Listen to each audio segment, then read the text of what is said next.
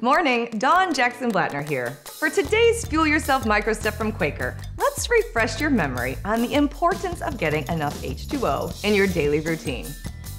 Staying hydrated not only boosts mood, but also helps decrease headaches and improves your concentration. So start your day by drinking water. Don't be afraid to get creative with it by adding flavor with foods like ginger or lime.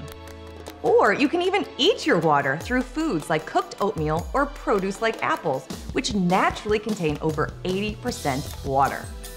From our playbook to yours, over and out.